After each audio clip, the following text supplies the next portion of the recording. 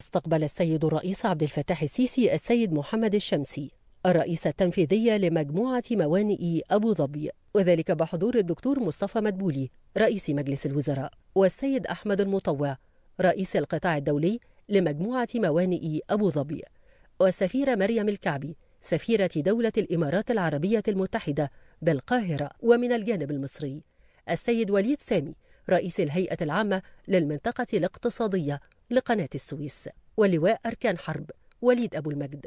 مدير عام جهاز مشروعات الخدمة الوطنية للقوات المسلحة. واللواء هشام الجندي مساعد مدير عام جهاز مشروعات الخدمة الوطنية للنقل واللوجستيات.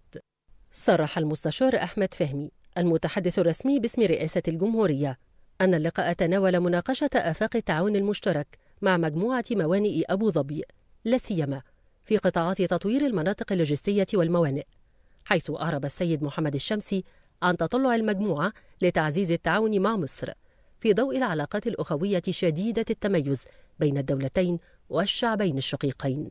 وفي ظل ما تتمتع به مصر من مقومات فريدة تجعلها مركزا لوجستيا إقليميا وعالميا. مثمنا ما شهدته الدولة في السنوات الماضية من تقدم سريع ومضطرد. خاصة من ناحية توسيع وتحديث بنيتها الأساسية لتصبح ذات مستوى عالمي في مختلف القطاعات. بما يحدث طفرة نوعية في قدرة مصر على استقبال الاستثمارات ودعم حركة التجارة الإقليمية والدولية. أضاف المتحدث الرسمي أن السيد الرئيس أكد في هذا الصدد اعتزاز مصر بعلاقاتها القوية والمتميزة مع دولة الإمارات الشقيقة بقيادة الشيخ محمد بن زايد رئيس دولة الإمارات.